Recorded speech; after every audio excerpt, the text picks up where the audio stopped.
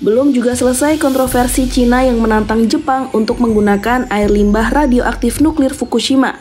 Persoalan lain kembali datang. Dan kayaknya Wong Benbin bener-bener marah nih saat tahu kalau pemerintah Jepang mensubsidi industri perikanan Jepang.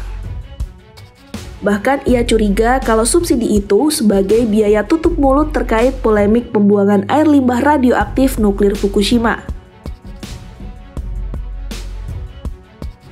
Wang pun bertanya-tanya nih, kalau emang air limbahnya aman, kenapa pemerintah Jepang sampai memberikan kompensasi ke masyarakat?